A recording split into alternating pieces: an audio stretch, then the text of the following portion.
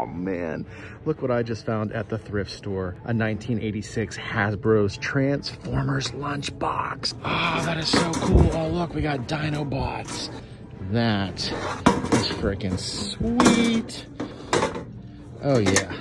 How much they want for this thing? $4.99? Yeah, I'm definitely getting this.